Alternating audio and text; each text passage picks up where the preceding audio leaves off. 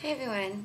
Um, I'm writing, supposed to be writing an essay right now, um, but it does say a lot. Every time I need to do like a um, schoolwork, I end up posting something, but it helps me distress. I mean, de-stress that thing.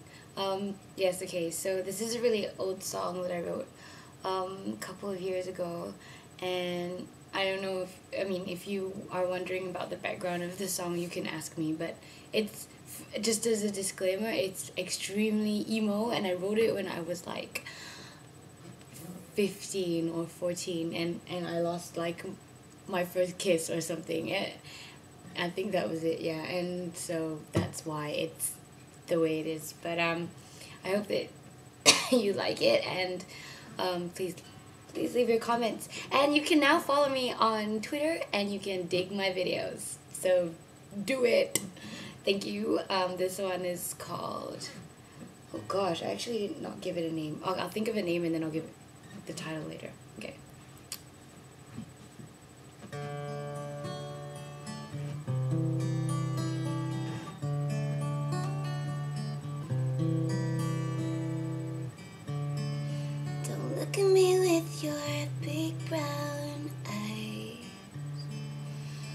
Trying to say goodbye.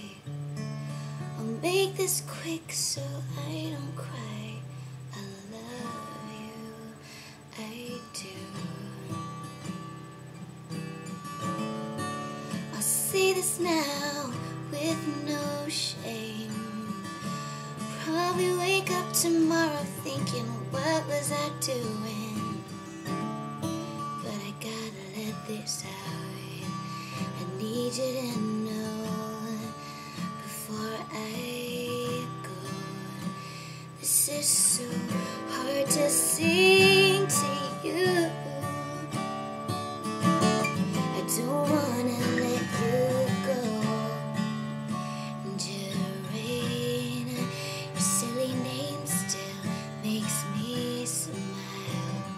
don't know how things turned out this way I'm sure you know I loved you all the while.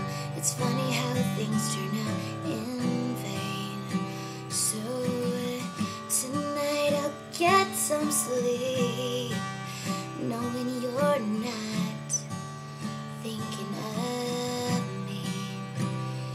is so stupid of me, I know, but that's just me. So this is the last song I'll